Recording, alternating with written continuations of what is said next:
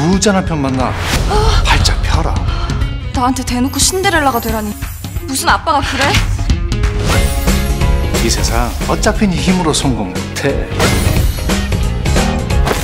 이 사람 꽉 잡고 흔들리지 않을 거예요 이게 바로 구원? 그럼 브랜뉴 신데렐라 이야기 시작해 볼까요? 드디어 절 도와주고 계신 건가요?